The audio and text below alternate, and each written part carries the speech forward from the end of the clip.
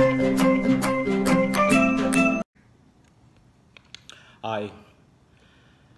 Selamat siang bro and sister. Kali ini saya mau cerita tentang prank. Minum dulu ya. Nah kita baru saja mendengar ada lagi kerja prank uh, kemarin pada saat pembagian hewan kurban. Padahal kita tahu bahwa belum lama ini kita dikagetkan dengan adanya orang melakukan prank dengan memberi sembako, kotak sembako berisi sampah. Itu sangat memilukan, sangat menyakitkan hati.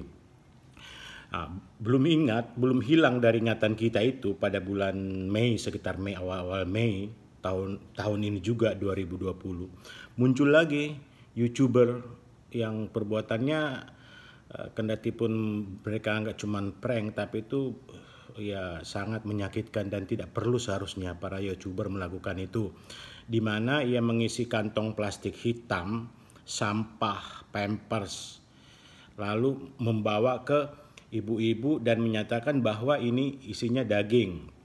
Itu teman-teman bisa Google itu beritanya di uh, di detik dan media-media lain yang mengungkap itu.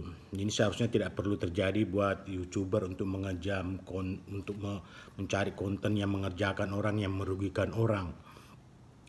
Itu hal-hal yang sangat tidak bisa diterima dan ini akibatnya fatal. Bagaimanapun juga ibu yang menerima uh, kantong daging yang isinya sampah itu sudah melukai hatinya. Kendati pun anak youtuber itu sudah melakukan permintaan maaf kepada ibu itu, dia telah melukai hatinya dan itu tidak teringat selalu dalam pikirnya dan suatu saat ketika ada orang yang ingin memberi daging, dia juga mulai curiga, punya pemikiran negatif lagi.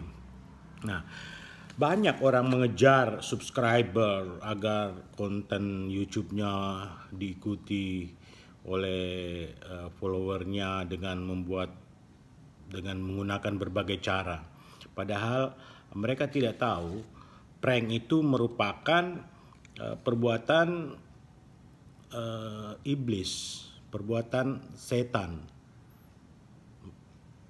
Percaya atau tidak? Mari kita bahas. Nah, banyak yang mengatakan bahwa uh, prank pertama kali itu dilakukan oleh uh, pergantian ketika mulai dimunculnya itu kalender Masehi berseiring dengan adanya April Mop itu. Padahal nah ada juga seorang uh, uh, arkeolog dari Australia bernama Marwick Well. Nah, dia dalam karya tulisnya Rome in the East bukunya Transformation of an Empire. Nah, dia bercerita bahwa pada uh, zaman kekaisaran Romawi yaitu uh, Kaisar Elagabus yang memerintah tahun 218 sampai 222. Itu dia suka jahil. Nah, dia suka jahil, dia kerjain tamunya setiap ada tamunya sampai bahkan sampai meninggal gitu. Itu kan bukan main minta ampun sadisnya kaisar ya tahulah zaman-zaman kaisar eh, Romawi kuno sampai sebelum juga itu pada zaman eh, di di Mesir kuno oleh raja-raja Firaun itu sudah ada. Jadi saya pikir bahwa ini perbuatan iblis. Jujur aja saya bilang bahwa ini perbuatan iblis. Alasan saya kenapa saya mengatakan bahwa ini eh, perbuatan iblis karena prank itu sebenarnya sharing dengan kehadiran manusia di bumi. Uh, iblis waktu itu menggoda, uh, katakanlah mungkin dia prank kepada uh, Nabi Adam dengan menggoda me, meminta dia agar memakan menggoda memakan buah kuldi itu yang sesungguhnya oleh dilarang oleh Allah Subhanahu wa taala.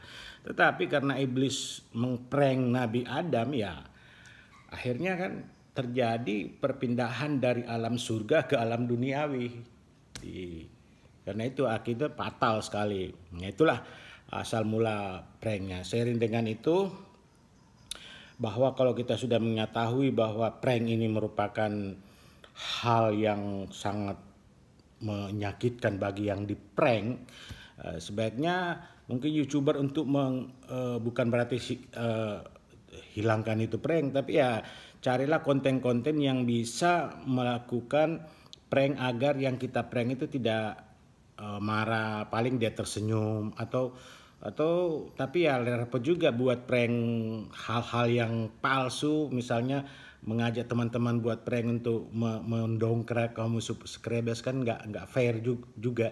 Jadi intinya bahwa marilah kita hentikan prank. Nggak usah isi konten YouTube dengan prank yang sangat uh, berbahaya. Karena kenapa? Seperti Raja Kaisar Romawi Elagabus itu sampai meninggal dia tarik kursinya. Sejak saat itulah mulai sering prank-prank. Ketika temannya duduk di kursi langsung ditarik keluar. Nah di situlah terjadi hal yang sangat berbahaya. Saya pikir begitu jadi uh, boleh kita melakukan prank tapi jangan sampai menyakitkan hati minta maaf juga tidak menyelesaikan masalah itu sudah melukai. Kalau sudah luka susah lagi diobati.